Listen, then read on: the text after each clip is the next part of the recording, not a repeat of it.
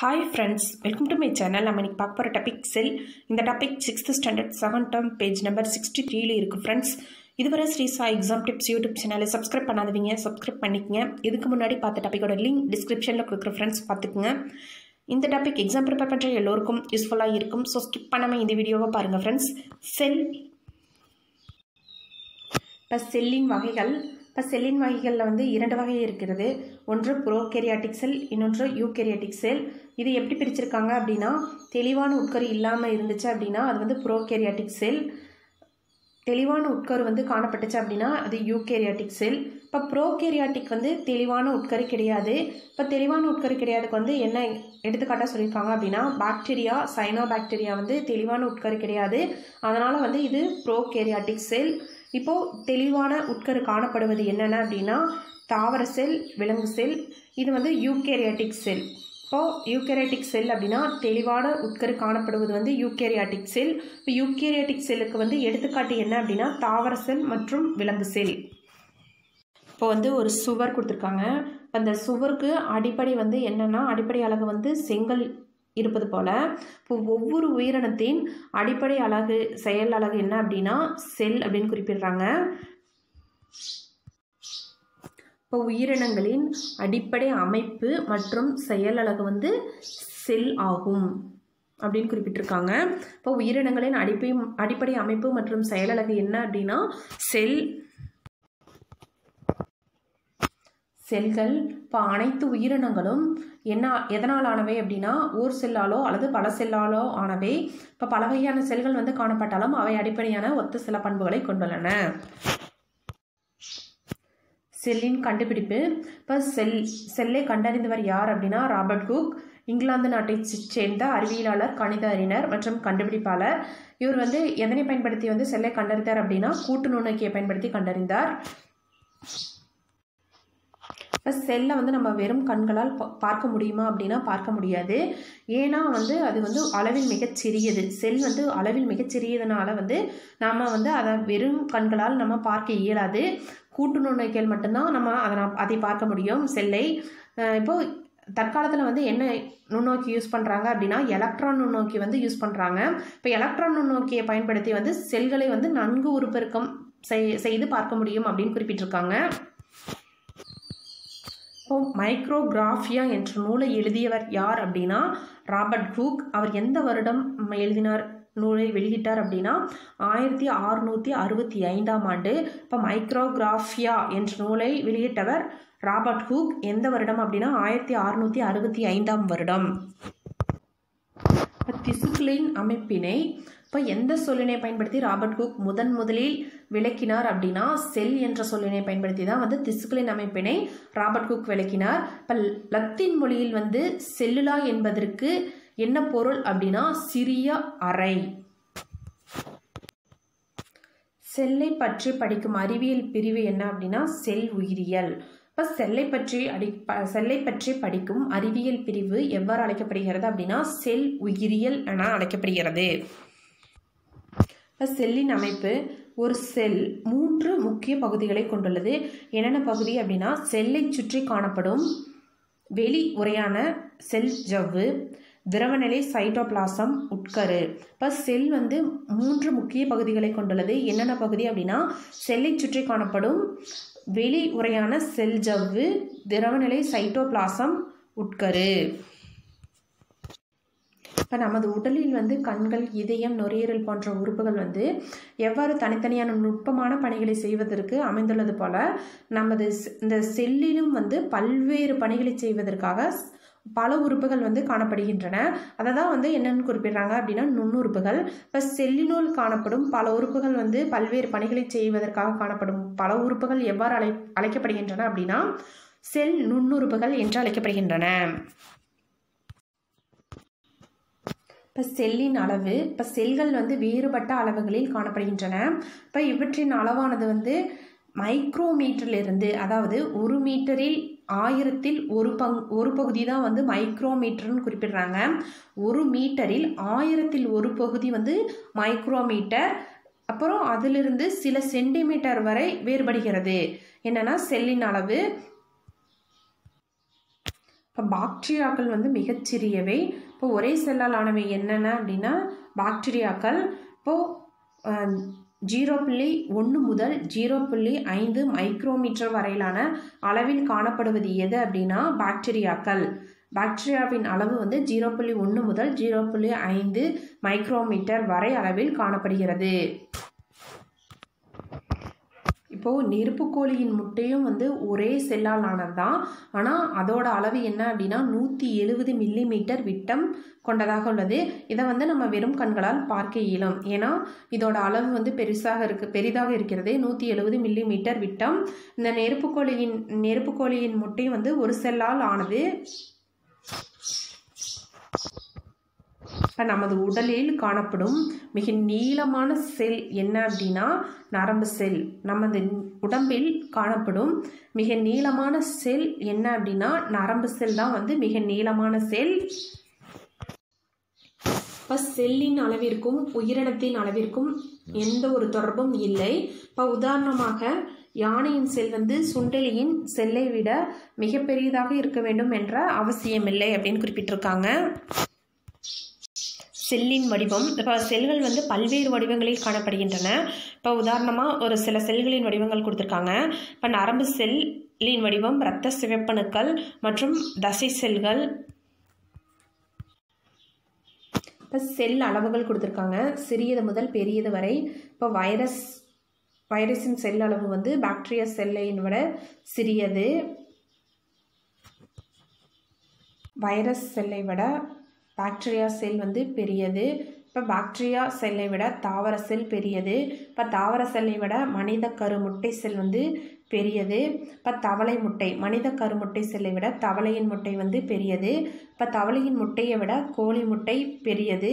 இப்போ கோழி முட்டையை விட நெருப்பு கோழி முட்டை வந்து பெரியது அப்படின்னு குறிப்பிட்டிருக்காங்க. இப்போ செல்களின் எண்ணிக்கை வந்து உயிரினத்திற்கு உயிரினம் வந்து மாறுபடும். இப்போ உயிரினங்கள் வந்து ஒரு செல் கொண்டு வந்து ஒரு செல் உயிரினமாகவும் இருக்கலாம். அல்லது பல செல் அதாவது நூறு முதல் மில்லியன் எண்ணிக்கையில் வந்து உள்ளது தான் வந்து பல செல் குறிப்பிடுறாங்க. இப்போ இந்த மாதிரி பல செல் கொண்டு பல செல் உயிரினமாகவும் இருக்கலாம். பாக்டீரியா அமிபா கிளாமிடாமோனஸ் மற்றும் ஈஸ்ட் போன்றவை ஒரு செல் உயிரினத்திற்கு உதாரணமாகும். இது இம்பார்ட்டன்ட் ஒன் வேர்டு ஃப்ரெண்ட்ஸ் பார்த்துக்குங்க. இப்போது ஒரு செல் உயிரினத்திற்கு உதாரணம் அதாவது எடுத்துக்காட்டு என்னென்ன அப்படின்னா பாக்டீரியா அமிபா கிளாமிடாமோனஸ் மற்றும் ஈஸ்ட். இப்போ பல செல் உயிரினத்திற்கு உதாரணம் என்னென்ன அப்படின்னா ஸ்பைரோகைரா மாமரம் மற்றும் மனிதன். பலசெல் உயிரினத்திற்கு எடுத்துக்காட்டு ஸ்பைரோகைரா மாமரம் மற்றும் மனிதன். ஒரு செல் உயிரினத்திற்கு எடுத்துக்காட்டு பாக்டீரியா அமிபா கிளாமிடோமானஸ் மற்றும் ஈஸ்ட். பல செல் உயிரினத்திற்கு எடுத்துக்காட்டு ஸ்பைரோகை ஸ்பைரோகைரா மாமரம் மற்றும் மனிதன். இது repeated questions friends so important பார்த்துக்குங்க ஃப்ரெண்ட்ஸ் ஒரு செல் உயிரினத்திற்கு எடுத்துக்காட்டு பல செல் உயிரினங்களுக்கு எடுத்துக்காட்டு. தோராயமாக மனித உடலில் உள்ள செல்களின் எண்ணிக்கை என்ன அப்படின்னா மூன்று புள்ளி ஏழு இன்ட்டு பத்தின் அடுக்கு பதிமூணு. இப்போ மனித உடலில் உள்ள செல்களின் எண்ணிக்கை அதாவது தோராயமாக குறிப்பிட்டிருக்காங்க என்ன அப்படின்னா மூணு புள்ளி ஏழு இன்ட்டு பத்தின் அடுக்கு பதிமூணு. நம்ம ஏற்கனவே பார்த்தோம் செல்லின் வகைகள் வந்து இரண்டு வகை இருக்குது அப்படின்னு. இப்போ தெளிவற்ற உட்கருவை கொண்டது வந்து ப்ரோகேரியாட்டிக் செல் அப்படின்னு குறிப்பிடுறோம். இப்போ தெளிவான உட்கருவை கொண்டது வந்து யூகேரியாட்டிக் செல்கள் அப்படின்னு குறிப்பிட்டிருக்கோம். இப்போ ப்ரோகேரியாட்டிக் செல் இப்போ பாக்டீரியா போன்ற ஒரு செல் நுண்ணுயிரிகளில் ப்ரோகேரியாட்டிக் செல்கள் காணப்படுகின்றன. அப்புறம் ப்ரோகேரியாட்டிக் செல்கள் வந்து காணப்படுவது எதில் அப்படின்னா பாக்டீரியா போன்ற ஒரு செல் நுண்ணுயிரிகள் தான் வந்து ப்ரோகேரியாட்டிக் செல் வந்து காணப்படுகிறது. இது வந்து தெளிவான உட்கருவினை கொண்டிருக்காது. இவற்றின் உட்கரு வந்து எ எவ்வாறு அழைக்கப்படுகிறது அப்படின்னா நியூக்ளியாய்டு என்று அழைக்கப்படுகிறது.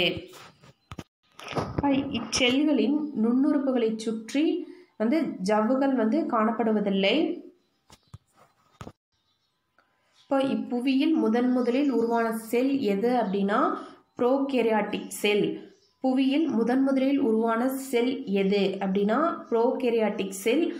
இதன் விட்டம் எவ்வளவு அப்படின்னா இவை ஜீரோ புள்ளி ஜீரோ ஜீரோ மூன்று மைக்ரோமீட்டர் முதல் இரண்டு புள்ளி ஜீரோ மைக்ரோமீட்டர் வரையிலான விட்டம் கொண்டவை. எடுத்துக்காட்டு என்ன கொடுத்துருக்காங்கன்னா எச்சீரியா கோலை பாக்டீரியாவை தான் வந்து இதுக்கு எடுத்துக்காட்டாக கொடுத்துருக்காங்க. இப்போ ப்ரோகேராட்டிக் செல் அமைப்புக்கு வந்து எடுத்துக்காட்டு வந்து எச்சீரியா கோலை வந்து பாக்டீரியா வந்து எடுத்துக்காட்டாக கொடுத்துருக்காங்க. இதோட அமைப்பு தான் இதில் கொடுத்துருக்காங்க ஃப்ரெண்ட்ஸ் இப்போ வந்து இதோட உட்கரு வந்து தெளிவாக காணப்படாதான் வந்து நம்ம ப்ரோகேரியாட்டிக் செல் அமைப்புன்னு கொடு சொல்கிறோம் இப்போ தெளிவான உட்கரு காணப்படாது. இந்த உட்கரை வந்து நம்ம எவ்வாறு அழைப்போம் அப்படின்னா நியூக்ளியாய்டு என்று அழைப்போம். இப்போ இதோட உட்சவ்வு கொடுத்துருக்காங்க வெளிச்சவ்வு வந்து கொடுத்துருக்காங்க. இதோட கசையிலை.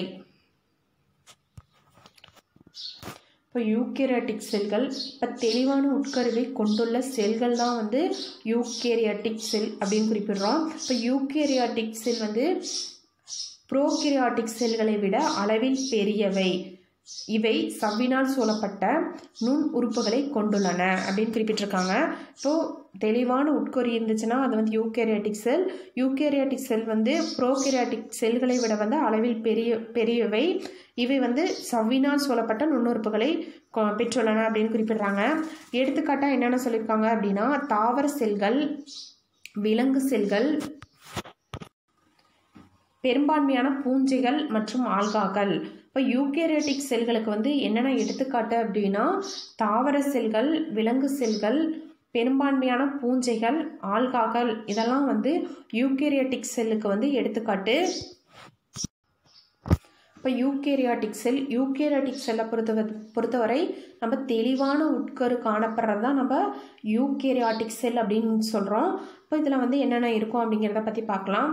ரைபோசாம் செல் ஜவ்வு ப்ளஸ் ஜவ்வு இணைக்கப்பட்ட கரு இப்போ மைட்டோகான்ட்ரியா இதெல்லாம் வந்து யூகேரியாட்டிக் செல்லில் வந்து காணப்படுகிறது.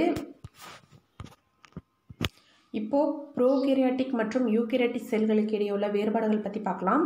இப்போ ப்ரோகேரியாட்டிக் செல் யூகேரியாட்டிக் செல் இப்போது ப்ரோகேரியாட்டிக்னா ஒன்று முதல் இரண்டு மைக்ரான் விட்டம் கொண்டவை தான் வந்து ப்ரோகேரியாட்டிக் செல் அப்படின்னு குறிப்பிடுறோம். இப்போ யூகேரியாட்டிக் செல்னா பத்து முதல் நூறு மைக்ரான் விட்டம் கொண்டவை வந்து யூகேரியாட்டிக் செல். இப்போ செல் நுண்ணுறுப்புகளை சுற்றி ஜவ்வு காணப்படுவதில்லை ப்ரோகேரியாட்டிக் செல்லில். இதே வந்து செல் நுண்ணுறுப்புகளை சுற்றி ஜவ்வு காணப்படுவது வந்து யூகேரியாட்டிக் செல். இப்போ தெளிவற்ற உட்கரு உடையது வந்து ப்ரோகேரியாட்டிக் செல். யூகேரியாட்டிக் செல் வந்து தெளிவான உட்கரு கொண்டவை. இப்போது ப்ரோகேரியாட்டிக் செல்லில் வந்து நியூக்ளியாலஸ் காணப்படுவதில்லை. இப்போ யூகேரியாட்டிக் செல்லில் வந்து நியூக்ளியாலஸ் காணப்படும். தாவர செல் மற்றும் விலங்கு செல் இப்போ தாவரங்கள் மற்றும் விலங்குகள் வந்து பல செல் உயிரினங்களாகும். இவற்றின் செல்கள் வந்து எவ்வாறு அழைக்கப்படுகிறது அப்படின்னா யூகேரியாட்டிக் செல்கள் என அழைக்கப்படுகிறது. இப்போ தாவரங்கள் மற்றும் விலங்குகள் வந்து பல செல் உயிரினங்கள். இவற்றின் செல்கள் வந்து எவ்வாறு அழைக்கப்படுகிறது அப்படின்னா யூகேரியாட்டிக் யூகேரியாட்டிக் செல்கள் என அழைக்கப்படுகிறது. தாவர செல்லின் முக்கிய பண்புகள். இப்போ தாவர செல்கள் வந்து விலங்கு செல்களை விட அளவில் பெரியவையாகவும் கடினத்தன்மை மிக்கதாகவும் உள்ளன அப்படிங்கிறாங்க. இப்போ தாவர செல்கள் வந்து அதனை சுற்றி வெளிப்புறத்தில் செல் சுவரையும் அதனை அடுத்து செல் ஜவ்வனையும் கொண்டுள்ளன. தாவர செல்களில் வந்து என்ன காணப்படுது அப்படின்னா பசுங்கணிகங்கள் காணப்படுது. அப்போ அவற்றில் காணப்படும் பச்சையம் என்னும் நிறமி வந்து தாவரத்திற்கு அதன் உணவினை தயாரித்து கொள்ள உதவுகின்றது. இப்போ பச்சையும் என்னும் நிறவி நிறமி வந்து எதனால் இருக்குது அப்படின்னா எதுக்கு யூஸ் ஆகுது அப்படின்னா அதன் உணவினை தயாரித்து கொள்ள உதவுகின்றது. இப்போ நுண் குமிழ்கள் காணப்படுகின்றன. ஆனால் வந்து சென்ட்ரியோல்கள் காணப்படுகிறதா இல்லையா அப்படின்னா தாவர செல்களில் வந்து சென்ட்ரியோல்கள் காணப்படுவது இல்லை. இப்போ தாவர செல் அமைப்பு கொடுத்துருக்காங்க. என்னென்ன காணப்படுகிறதுங்கிறத பற்றி பார்க்கலாம். இப்போ கோல்கை உடலங்கள் வந்து தாவர செல்லில் காணப்படுகிறது. பசுங்கணிகங்கள் வந்து தாவர செல்லில் காணப்படுகிறது. உட்கரு வந்து காணப்படுகிறது தாவர செல்லிலே இப்போது உட்கரு மணி என்னன்னு சொல்கிறாங்கன்னா நியூக்ளியோலஸ் அப்படின்னு குறிப்பிடுறாங்க. அது வந்து தாவர செல்லில் காணப்படுது எண்டோபிளாச வலைப்பண்ணல் காணப்படுகிறது. செல் சுவர் உள்ளது. மைட்டோகாண்ட்ரியா தாவர செல்லில் காணப்படுகிறது. இப்போ விலங்கு செல்லின் முக்கிய பண்புகள் இப்போ விலங்கு செல்கள் வந்து தாவர செல்களை விட அளவில் வந்து சிறியவை. இப்போ விலங்கு செல்கள் வந்து கடினத்தன்மை அற்றவை. இப்போ விலங்கு செல்லை சுற்றி செல் ஜவ்வு காணப்படுகிறது. ஆனால் வந்து என்ன காணப்படுவதில்லை அப்படின்னா செல் சுவர் வந்து காணப்படுவதில்லை. இப்போ விலங்கு செல்ல வந்து பசங்கணியங்கள் காணப்படுவது இல்லை. ஆனால் வந்து பசங்கணியங்கள் வந்து தாவர செல்லில் காணப்படுகின்றன. டிஃப்ரென்ஸ் பார்த்துக்குங்க ஃப்ரெண்ட்ஸ் இப்போ விலங்கு செல்லில் வந்து பசங்கணியங்கள் காணப்படுவது இல்லை. இப்போ இவை சிறிய நுண்குமிழ்களை கொண்டுள்ளன. அதாவது விலங்கு செல்கள் வந்து சிறிய நுண்குமிழ்களை கொண்டுள்ளன. இப்போ விலங்கு செல்லில் சென்ட்ரியோல்கள் உண்டு. இது இம்பார்ட்டன்ட் ஃப்ரெண்ட்ஸ் இப்போ விலங்கு செல்லில் வந்து என்ன வந்து காணப்படுகிறதுனா சென்ட்ரியோல்கள் வந்து விலங்கு செல்லில் காணப்படுகிறது. ஆனால் தாவர செல்லில் வந்து சென்ட்ரியோல்கள் காணப்படுவது இல்லை. இப்போ விலங்கு செல் பார்க்கலாம். இப்போ விலங்கு செல்லில் மைட்டோகான்ட்ரியா சென்ட்ரியோல் கோல்கை உறுப்புகள் இப்போ எண்டோபிளாச வலை. இப்போ அதாவது விலங்கு செல்லில் வந்து சொரசொரப்பான எண்டோபிளாச வலை காணப்படுகிறது. நியூக்ளியலஸ் உட்கரு சைட்டோபிளாசம் மற்றும் பிளாஸ்மா ஜவ்வு ஆகியன வந்து இந்த விலங்கு செல்லில் வந்து காணப்படுகிறது. இப்போ செல்லின் நுண்ணுறுப்புகள் மற்றும் அதன் பணிகள். இப்போ செல்லின் பாகம் அதன் முக்கிய பணிகள் சிறப்பு பெயர் பற்றி பார்க்கலாம். இப்போ செல்லின் பாகம் அதாவது செல் சுவர். இப்போ செல் சுவரின் முக்கிய பணி வந்து செல்லை பாதுகாப்பது. செல்லிற்கு உறுதி மற்றும் வலிமையை தருவது வந்து செல் சுவர். இப்போ செல் சுவரின் சிறப்பு பெயர் தாங்குபவர் அல்லது பாதுகாப்பவர். செல் சுவரின் சிறப்பு பெயர் தாங்குபவர் அல்லது பாதுகாப்பவர். இப்போ செல்லின் பாகம் செல் ஜவ்வு. இப்போ செல் ஜவ்வின் முக்கிய பணி செல்லிற்கு பாதுகாப்பு தருவது மற்றும் செல்லின் போக்குவரத்திற்கு உதவுவது வந்து செல் ஜவ்வு. இது இம்பார்ட்டன்ட் ஒன் வேர்ட் ஃப்ரெண்ட்ஸ் இப்போ செல்லின் போக்குவரத்திற்கு உதவுவது எது அப்படின்னா செல் ஜவ்வு. இப்போ செல் ஜவ்வின் சிறப்பு பெயர் வந்து செல்லின் கதவு. இப்போ செல்லின் பாகம் சைட்டோபிளாசம். இதன் முக்கிய பணி நீர் அல்லது ஜெல்லி போன்ற செல்லில் உள்ள நகரும் பொருள். இதான் வந்து சைட்டோபிளாசம். இப்போ சிறப்பு பெயர் என்னென்னா செல்லின் நகரும் பகுதி. இப்போ செல்லின் நகரும் பகுதி எது அப்படின்னா சைட்டோபிளாசம். நெக்ஸ்ட்டு மைட்டோகான்ட்ரியா இப்போ மைட்டோகான்ட்ரியாவின் முக்கிய பணி என்னென்னா செல்லிற்கு தேவையான அதிக சக்தியை உருவாக்கி தருவது எது அப்படின்னா மைட்டோகான்ட்ரியா இப்போ செல்லின் ஆற்றல் மையம் என அழைக்கப்படுவது வந்து மைட்டோகான்ட்ரியா பசுங்கணிகம் இப்போ வந்து பசுங்கணிகத்தில் வந்து என்ன இருக்குது அப்படின்னா பச்சையம் என்ற நிறமை உள்ளது. இது வந்து சூரிய ஒளியை ஈர்த்து ஒளிச்சேர்க்கையின் மூலம் உணவு தயாரிக்க உதவுகிறது. இப்போ செல்லின் உணவு தொழிற்சாலை என அழைக்கப்படுவது வந்து பசுங்கணிகம் இப்போ செல்லின் பாகம் நுண்குமிழ்கள். இப்போ நுண்குமிழ்களின் முக்கிய பணி என்ன அப்படின்னா உணவு நீர் மற்றும் வேதிப்பொருட்களை சேமிப்பது வந்து நுண்குமிழ்களின் முக்கிய பணி. இப்போ நுண்குமிழ்களின் சிறப்பு பெயர் வந்து சேமிப்பு கிடங்கு. இப்போ சேமிப்பு கிடங்கு என அழைக்கப்படுவது எது அப்படின்னா நுண்குமிழ்கள். செல்லின் பாகம் உட்கரு நியூக்ளியஸ். இப்போ செல்லின் மூளையாக செயல்படுவது எது அப்படின்னா உட்கரு. செல்லின் அனைத்து செயல்களையும் ஒருங்கிணைத்து கட்டுப்படுத்துவது எது அப்படின்னா உட்கரு. இப்போ செல்லின் கட்டுப்பாட்டு மையம் என அழைக்கப்படுவது எது அப்படின்னா உட்கரு. உட்கரு உரை இது வந்து எவ்வாறு அழைக்கப்படுகிறதுனா நியூக்ளியஸ் உரை என்று அழைக்கப்படுகிறது. இப்போ இது உட்கரு உரையின் முக்கிய பணி என்ன அப்படின்னா நியூக்ளியஸை சுற்றி அமைத்து அதை பாதுகாக்கிறது. அப்போ நியூக்ளியஸின் உள்ளேயும் வெளியேயும் பொருள்களை அனுப்புவது எது அப்படின்னா இந்த உட்கரு உரை இப்போ உட்கரு உரையின் சிறப்பு பெயர் வந்து உட்கரு வாயில் அல்லது உட்கரு கதவு. இப்போ உட்கரு கதவு மற்றும் அல்லது உட்கரு வாயில் என அழைக்கப்படுவது எது அப்படின்னா உட்கரு உரை. இப்போ book back questions and answers பார்க்கலாம். செல்லின் அளவை குறிக்கும் குறியீடு ஆன்சர் மைக்ரோமீட்டர் செல்லின் அளவை குறிக்கும் குறியீடு ஆன்சர் மைக்ரோமீட்டர் நுண்ணோக்கியில் பிரியா செல்லை பார்க்கும்போது அச்செல்லில் செல் சுவரும் நியூக்ளியஸும் இருக்கிறது. பிரியா பார்த்த செல் ஆன்சர் தாவர செல். நுண்ணோக்கியில் பிரியா செல்லை பார்க்கும்போது அச்செல்லில் செல் சுவரும் நியூக்ளியஸும் இருக்கிறது. பிரியா பார்த்த செல் தாவர செல். யூகேரியோட்டின் கட்டுப்பாட்டு மையம் எனப்படுவது ஆன்சர் நியூக்ளியஸ். யூகேரியோட்டின் கட்டுப்பாட்டு மையம் எனப்படுவது ஆன்சர் நியூக்ளியஸ். கீழே உள்ளவற்றில் எது ஒரு செல் உயிரினம் அல்ல? ஆன்சர் ஸ்பைரோகைரா இப்போ ஸ்பைரோகைரா வந்து பல செல் உயிரினத்துக்கு எடுத்துக்காட்டு. இப்போ ஒரு செல் உயிரினத்திற்கு எடுத்துக்காட்டு ஈஸ்ட் அமிபா பாக்டீரியா கிளாமிடாமோனஸ் இ ஆகியவை ஒரு செல் உயிரினத்திற்கு எடுத்துக்காட்டு. இப்போ நம்ம கொஷின் எப்படி கேட்டிருக்காங்கன்னா கீழே உள்ளவற்றில் எது ஒரு செல் உயிரினம் அல்லன்னு கேட்டிருக்காங்க. ஆன்சர் வந்து ஸ்பைரோகைரா மீதி இருக்கிற ஈஸ்ட் அமீபா பாக்டீரியா ஆகியவை ஒரு செல் ஒரு செல் உயிரினம். ஸ்பைராகரா வந்து பல செல் உயிரினம். இப்போ யூகேரியோட் செல்லில் காண செல்லில் நுண்ணுறுப்புகள் காணப்படும் இடம் வந்து சைட்டோபிளாசம். இப்போ யூகேரியோட் செல்லில் நுண்ணுறுப்புகள் காணப்படும் இடம் சைட்டோபிளாசம். கோடிட்டு இடங்களை நிரப்புக. இப்போ செல்களை காண உதவும் உபகரணம் ஆன்சர் கூட்டு நுண்ணோக்கி. இப்போ செல்களை காண உதவும் உபகரணம் ஆன்சர் கூட்டு நுண்ணோக்கி. நான் செல்லில் உணவு உற்பத்தியை மேற்கொள்கிறேன். நான் யார்? ஆன்சர் பசுங்கணிகம் நான் செல்லில் உணவு உற்பத்தியை மேற்கொள்கிறேன். நான் யார்? ஆன்சர் பசுங்கணிகம் நான் ஒரு காவல்காரன். நான் செல்லினுள்ளேயும் வெளியேயும் அனுமதியின்றி யாரையும் விடமாட்டேன்.